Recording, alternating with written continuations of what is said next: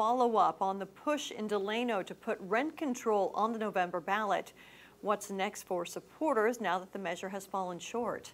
Thanks for joining us. I'm Rochelle Murcia. And I'm Michael Patterson. Last month, several Delano residents worked with labor organizers to gather signatures to support a rent control measure. And today we learned that there were not enough signatures to move forward. Eyewitness News reporter Mary Pronian joins us now in studio after speaking with the mayor who said this is actually a good thing. Well, Michael and Rochelle, the massive rent hikes grew in the past few years because of the pandemic, raising rent by 40%. Delano Mayor Joe Alindajao says there's already a law for rent control, and if a new one gets passed, he believes it will be a waste of taxpayer money. I think it's great news that the ballot measure failed.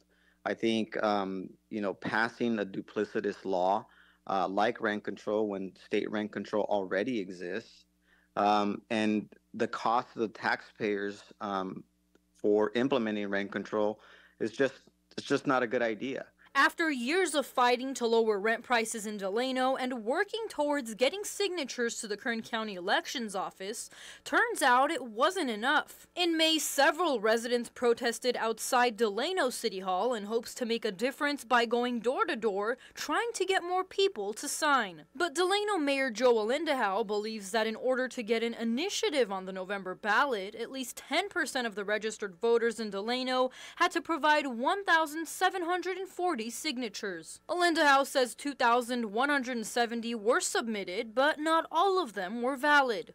Based on those 2,170 signatures that were turned in, I believe the county was only able to verify about 60, um, not 68%, but I think they were only able to verify about 14 to 1,500 signatures. One Delano resident I spoke with on the phone said this is upsetting news after all the hard work they put into getting them signed. However, Mayor Alindajao believes that passing this bad law isn't the way to go. You know, a lot of folks in the community were under the impression that if you pass rent control that you're going to lower the rents. That is simply not true. Those rents are, aren't going to go in the reverse.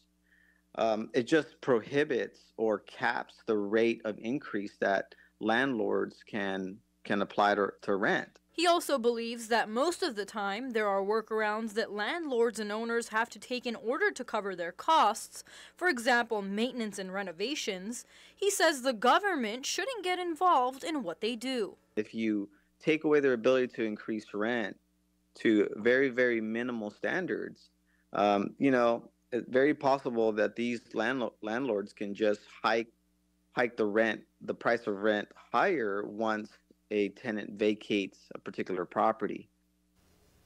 We also tried reaching out to the elections office to see why some of these signatures were invalid, but we didn't hear back.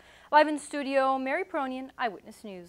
Hi, I'm Rochelle Murcia with Eyewitness News Bakersfield Now on YouTube. Thank you for checking out our YouTube channel where we have tons of great content to choose from. While you're here, go ahead and click on the subscribe button right there. That way you can stay up to date on all the things related within Kern County. Thanks for watching.